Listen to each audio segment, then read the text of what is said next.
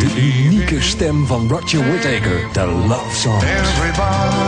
Een schitterende album met 18 muzikale hoogtepunten. Roger Whittaker, sfeer en romantiek, nu ook op cd. The Love Songs van Roger Whittaker, van